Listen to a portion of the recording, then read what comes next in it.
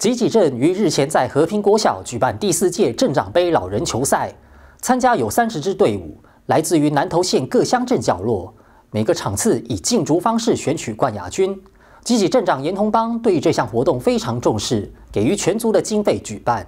让上了年纪的长辈玩得非常开心。现场一群长辈们更是使出全力，热衷于比赛与运动之中，